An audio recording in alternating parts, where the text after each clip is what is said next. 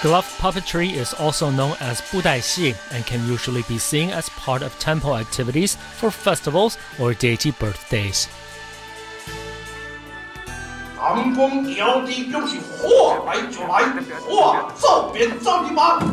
There are two parts to a glove puppetry performance.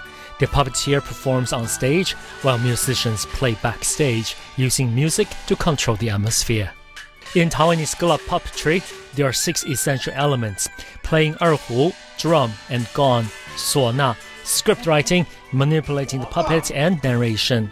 Puppeteers and musicians often have multiple tasks. Behind the scenes, there is also clear division of responsibilities.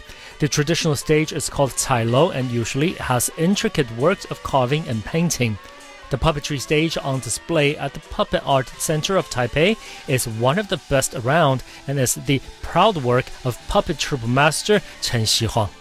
欢迎恁来到着阮大学湾来看蒋中戏，蒋中戏是真好，谢谢。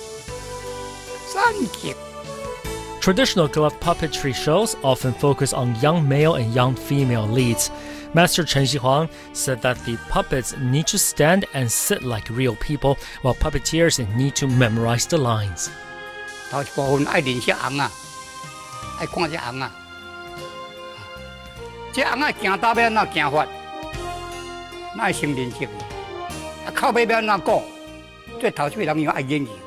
Although many new types of puppet theaters have emerged, including large scale, flamboyant glove puppetry, which has an army of loyal fans, the small and exquisite form of traditional glove puppetry is still one of the most representative forms of Taiwanese folk art.